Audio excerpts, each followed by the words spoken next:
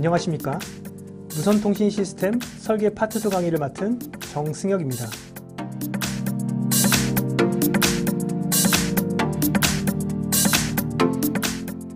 본 수업은 총 10차 시로 설계도서 작성, 무선통신 시스템 보호 및 대책 순으로 진행됩니다.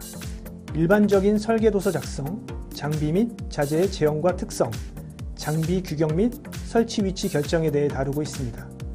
또한 전기 수전, 정류기, 배터리 등의 부대 설비 설계와 설계 도면 작성을 학습하게 됩니다. 또한 물리적 시스템 보호와 네트워크 보안 대책, EMP 방호를 학습하여 무선통신 시스템 보호 대책을 수립할 수 있게 됩니다. 그럼 이 강의가 여러분의 실무 능력 향상에 많은 도움이 되길 바랍니다. 감사합니다.